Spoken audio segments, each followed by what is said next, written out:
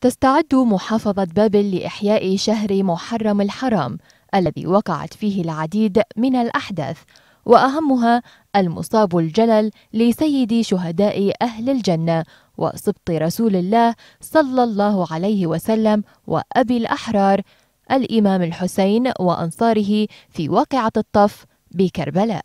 وتشهد المحافظة تحضيرات مكثفة لإحياء مراسيم هذا الشهر حيث بدأت المواكب والهيئات الحسينية بنصب سرادقها لإقامة العزاء وإحياء ذكرى استشهاد الإمام الحسين عليه السلام في تقليد سنوي تشهده المدينة. شرفنا حقيقة اليوم الحضور في هذا المجلس المبارك. وهو رفع راية الإصلاح راية الإمام الحسين في هيئة وموكب السيدة رقية يتيمة الحسين عليه أفضل الصلاة والسلام.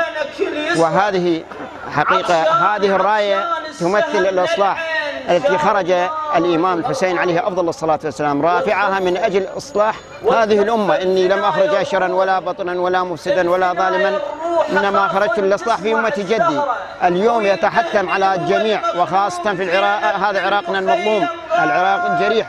أن ينهض بثورة إصلاحية حقيقية أن يجسدوا ثورة الإمام الحسين أول أعمال عملناها برفع الراية وقراءة القرآن والذكر المبين شعراء آل البيت الذين هم يفسرون الفكرة آه، لحضور الزوار والمجتمع.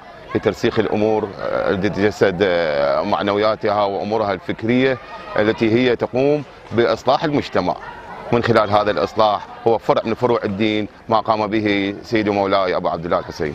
مواطنون أكدوا أن ثورة الإمام الحسين عليه السلام جسدت مسيرة لإصلاح شؤون الأمة بمختلف عناوينها السياسية والاقتصادية والاجتماعية والدينية يمثل ثورة ضد الباطل ثورة الحق ثورة نصرة المظلوم على الظالم. ثورة تجعل كل أطياف الشعب العراقي خاصة والعالم أجمع. زين متساوون في حقوق وواجبات. هاي الحكومة ما فيها الأحزاب. ما قدموا شيء للشعب. أنا أتمنى أتمنى من الله أن, أن يسرون وأن يتخذون إجراءات عادلة وصارمة وأن يمشون يعني بما يرضي الشعب. الشعب ما محتاج من عندهم. طلباته بسيطة خدمات كهرباء مي تعيين. ينظرون للإنسان المظلوم. الإمام الحسين خرج لإنصاف المظلوم. خرج للحق. ما خرج لمسألة مادية أو مسألة عقائدية لا. وإنما خرج للإصلاح في, في, في أمة جده محمد صلى الله عليه وسلم. الإمام الحسين عليه السلام.